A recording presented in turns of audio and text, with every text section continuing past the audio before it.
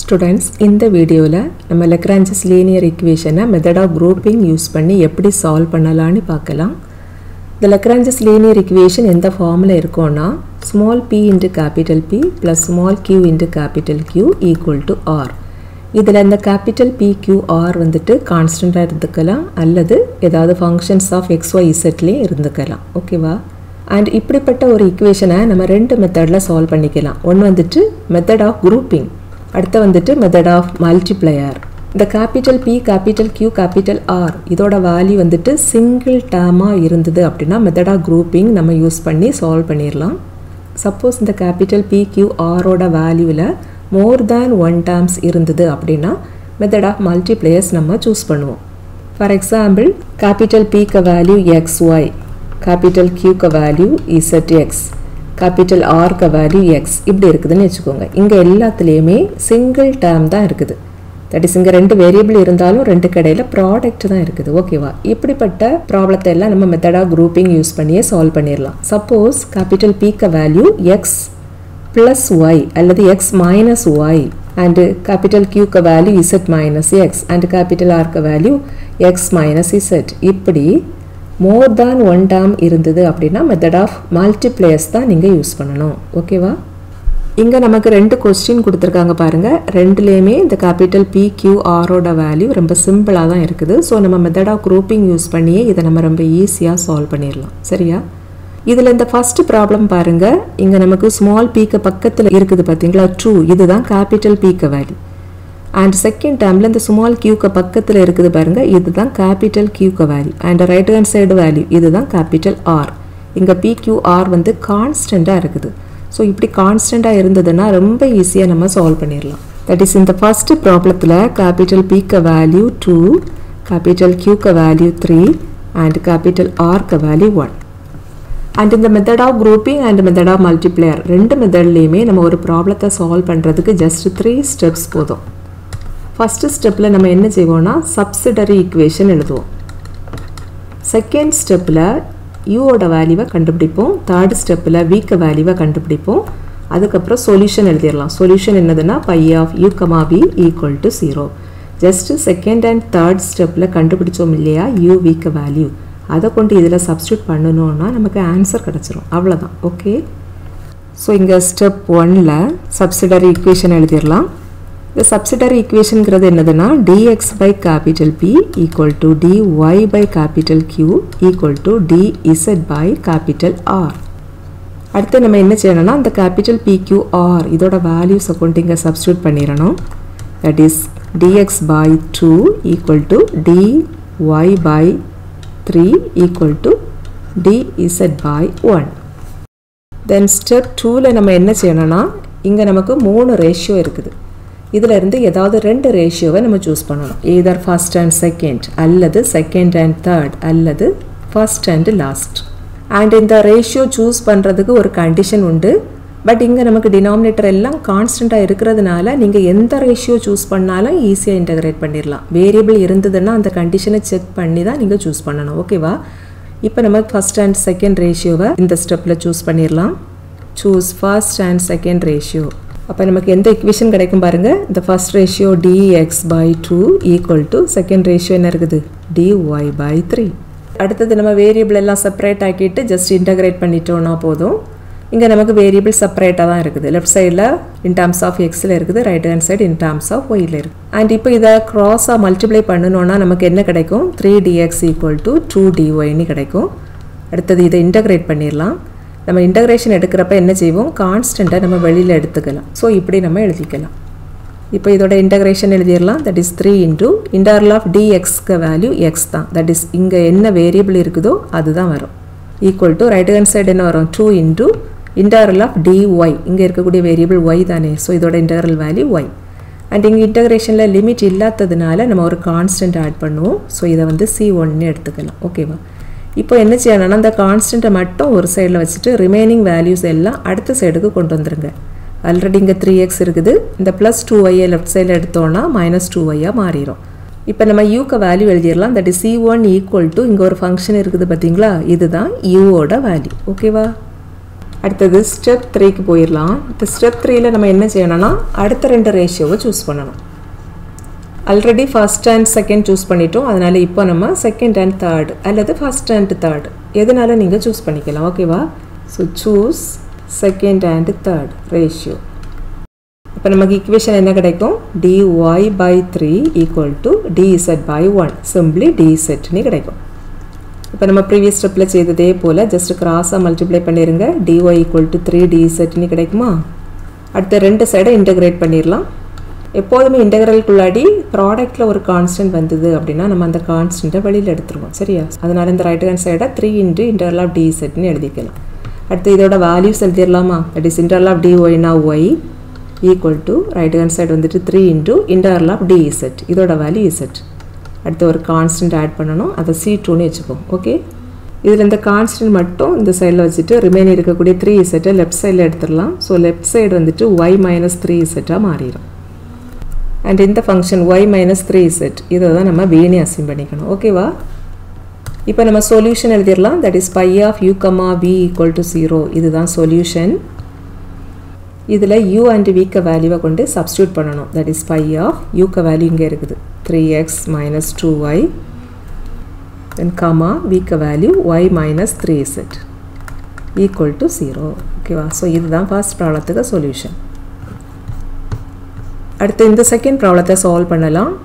That is P minus Q equal to log of x plus y இது வந்துட்டு எந்த ஃபார்மில் இருக்குது பாருங்கள் one into P minus one into Q equal to log of x plus y that is இதில் small பீக்க பக்கத்தில் இருக்கிற நம்பர் வந்துட்டு ஒன் இதுதான் கேபிட்டல் பீக்க வேல்யூ அண்ட் ஸ்மால் கியூக்க பக்கத்தில் இருக்கிற நம்பர் வந்துட்டு மைனஸ் ஒன் ஸோ கேபிட்டல் கியூக்க வேல்யூ மைனஸ் ஒன் இந்த மைனஸையும் சேர்த்து தான் நம்ம எடுக்கணும். ப்ளஸ்னால் நம்ம எடுக்க வேண்டாம். பட் மைனஸ் இருந்ததுன்னா அதையும் சேர்த்து எடுத்துடணும். ஓகே அண்ட் ரைட் ஹேண்ட் சைடில் இருக்கக்கூடிய இந்த வேல்யூ இதுதான் என்னது? Capital ஆர்க்க value that is here capital P equal to one capital Q equal to minus 1 and capital R equal to log of x plus y next first ஸ்டெப்பில் நம்ம subsidiary equation எழுதிடலாமா? That is subsidiary equation வந்துட்டு எப்படி எழுதணும்னா dx by capital P equal to dy by capital Q equal to dz by capital R இதில் பிக்யூஆருக்கு வேல்யூவை substitute பண்ணிடலாம் that is dx by 1 equal to dy by minus 1 equal to dz by log of x plus y. அடுத்தது step டூவில் நம்ம என்ன செய்ய போகிறோம் இந்த மூணு ரேஷியோலேருந்து ஏதாவது ரெண்டு ரேஷியோவை சூஸ் பண்ணணும். That is either first and second choose பண்ணிக்கலாம் அல்லது second and third or first and third suppose நீங்கள் first and second ratio choose பண்ணுறீங்கன்னு வச்சுக்கோங்க. இங்கே நியூமரேட்டரில் வேரியபிள் என்ன இருக்குது? எக்ஸும் ஒய்யும் இருக்குது. ஸோ டினாமினேட்டரில் உள்ள function in terms of x while தான் இருக்கணும். சப்போஸ் அங்கே இசட் இருந்தது அப்படின்னா அது எலிமினேட் பண்ணுறது போல இருக்கணும். அப்போ தான் நீங்கள் ஃபர்ஸ்ட் அண்ட் செகண்ட் ரேஷியோவை சூஸ் பண்ண முடியும். பட் இங்கே டினாமினேட்டரில் கான்ஸ்டன்ட் மட்டும் தானே இருக்குது. அதனால ஈஸியாக நம்ம இதை சூஸ் பண்ணிடலாம் ஓகேவா so choose first and second ratio that is dx by 1 equal to dy by minus 1 இப்போ ஜஸ்ட் இன்டகிரேட் பண்ணிடலாமா that is interval of dx by 1னா dx தான் equal to dy by minus 1னா மைனஸ் dyன்னு இருக்குது. So இங்கேயும் integrate பண்ணிடலாம் and of of dxக்கு value x equal to minus interval of dyனா y. அப்புறம் இங்கே ஒரு கான்ஸ்டன்ட் ஆட் பண்ணணும். அதை வந்துட்டு சி ஒன்னு வச்சுக்கலாம். ஓகேவா அடுத்து நம்ம ப்ரீவியஸ் ப்ராப்ளத்தில் செய்ததே போல தான் ஒரு சைடில் கான்ஸ்டன்ட் மட்டும் தான் இருக்கணும். எல்லா ஃபங்க்ஷனும் ஒரு சைடில் இருக்கணும். கான்ஸ்டன்ட் மட்டும் தனியாக இருக்கணும். ஓகேவா ஸோ ரைட் ஹேண்ட் சைடில் கான்ஸ்டன்ட் மட்டும் வச்சுட்டு இந்த மைனஸ் ஒய்யை லெஃப்ட் சைடில் எடுத்துடலாம். ஆல்ரெடி இங்கே ஒரு எக்ஸ் இருக்குது. அண்ட் இந்த மைனஸ் ஒய் எப்படி ரெடியூஸ் ஆயிரும்? ப்ளஸ் ஒய்யாக மாறிடும் இதில் இருக்கக்கூடிய இந்த லெஃப்ட் ஹேண்ட் சைடு இதை தான் நம்ம எப்படி அசீம் பண்ணிக்கணும்? யூனி அசீம் பண்ணிக்கணும். ஓகேவா அடுத்த ஸ்டெப் த்ரீயில் நம்ம வீக்க வேல்யூவை கண்டுபிடிக்க போகிறோம் நம்ம already first and second ratio choose பண்ணிட்டோம். அதனால இந்த ஸ்டெப் த்ரீயில் செகண்ட் அண்ட் தேர்டை சூஸ் பண்ணிக்கலாம். அல்லது ஃபஸ்ட் அண்ட் தேர்டை சூஸ் பண்ணிக்கலாம். சப்போஸ் நீங்கள் செகண்ட் அண்ட் தேர்டை சூஸ் பண்ணால் என்னாகும் பாருங்கள் நியூமரேட்டரில் இங்கே வேரியபிள் ஒய்யும் இசட்டும் தானே இருக்குது. அப்போ டினாமினேட்டர்லேயும் வேரியபிள்ஸ் வந்து எப்படி இருக்கணும்? இன் டேர்ம்ஸ் ஆஃப் ஒய் இசட்டில் தான் இருக்கணும்.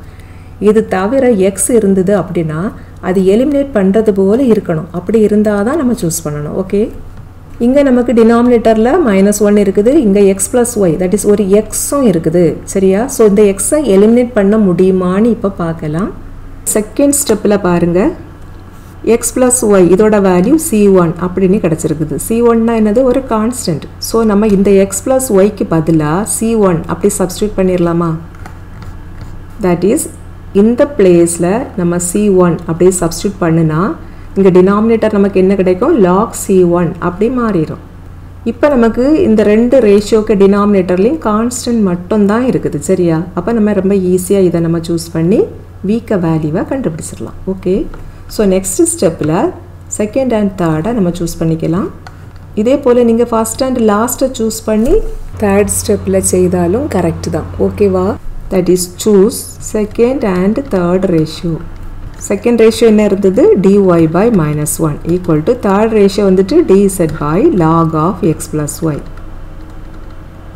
அடுத்ததாக நம்ம என்ன செய்ய போகிறோம்னா இந்த எக்ஸ் ப்ளஸ் ஒய் இந்த பிளேஸில் சி ஒன் அப்படின்னு சப்ஸ்டியூட் பண்ண போகிறோம் பிகாஸ் செகண்ட் ஸ்டெப்பில் நம்ம எக்ஸ் ப்ளஸ் ஒய்க்கு வேல்யூ சி ஒன் அப்படின்னு கண்டுபிடிச்சிருக்கிறோம். Okay that is dy by minus 1 equal to dz by log of c1 இப்போ இந்த ரெண்டு சைட்லேயும் பாருங்கள் டினாமினேட்டரில் கான்ஸ்டன்ட் தான் இருக்குது. ஸோ ஜஸ்ட் கிராஸாக மல்டிப்ளை பண்ணலாமா?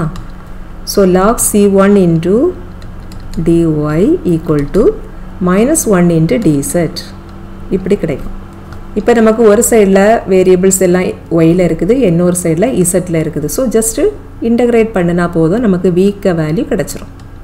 So integral of log c one into dy equal to integral of minus dz and இந்த இன்டகிரேஷன்ஸில் இந்த லாக் சி ஒன் கான்ஸ்டண்ட்டாக ஸோ இதை நம்ம இன்டர்வலுக்கு வெளியில் எடுத்துடலாம். அதே போல் ரைட் ஹேண்ட் சைடில் இருக்கக்கூடிய இந்த மைனஸ் சைன் இதையும் நம்ம வெளியில் எடுத்துடலாம். ஓகேவா ஸோ இந்த இக்குவேஷன் நமக்கு எப்படி ரெடியூஸ் ஆகும்னா log c one into integral of dy equal to minus integral of dz that is log c1 into integral of dy னா y okay and integral of dz அப்படின்னா இதோட வேல்யூ இந்த variable வரும். That is z.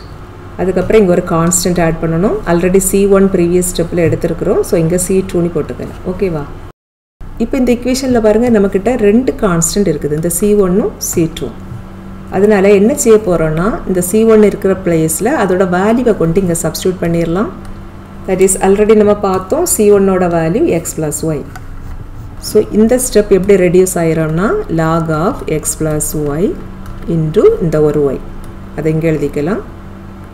And இந்த minus Z right சைடில் இருக்குது பார்த்தீங்களா? அதை நம்ம லெஃப்ட் சைடில் எடுத்துடலாம். ஸோ ப்ளஸ் இசட்டாக மாறிடும். ஈக்குவல் டு ரைட் ஹேண்ட் சைடில் சி டூ மட்டும் தான் இருக்கும் ஓகேவா இதில் வரக்கூடிய இந்த லெஃப்ட் ஹேண்ட் சைடு வேல்யூ இருக்குது பார்த்தீங்களா? இதுதான் வீக்க வேல்யூ ஓகேவா ஸோ சொல்யூஷன் என்ன வரும்? Phi of u comma v equal to zero இப்போ இதில் யூ அண்ட் வீக்க வேல்யூவை கொண்டு சப்ஸ்டியூட் பண்ணிடலாம். ப்ரீவியஸ் ஸ்டெப்பில் நம்ம யூவோட வேல்யூ கண்டுபிடிச்சிருக்கிறோம். எக்ஸ் ப்ளஸ் ஒய்னி so pi of x plus y comma வீக்க value இந்த ப்ரீவியஸ் ஸ்டெப்பில் இருக்குது. Y log x plus y plus z equal to zero இதுதான் இந்த ப்ராப்ளத்தோட சொல்யூஷன் ஓகே சப்போஸ் நீங்கள் இந்த லாஸ்ட் ஸ்டெப்பில் செகண்ட் அண்ட் தேர்ட் ரேஷியோ இதை சூஸ் பண்ணுறதுக்கு பதிலாக ஃபஸ்ட் அண்டு தேர்டை சூஸ் பண்ணீங்க அப்படின்னா உங்களுக்கு வியோட வேல்யூ இப்படி வராது கொஞ்சம் டிஃப்ரெண்ட்டாக இருக்கும். ஓகேவா ஸோ நீங்கள் எந்தெந்த ரேஷியோ சூஸ் பண்ணுறீங்களோ அதுக்கேற்றா போல தான் உங்களுக்கு சொல்யூஷன் கிடைக்கும். ஸோ இந்த டைப்பில் வந்துட்டு நமக்கு இந்த சொல்யூஷன் யூனிக்காக இருக்காது. ஓகேவா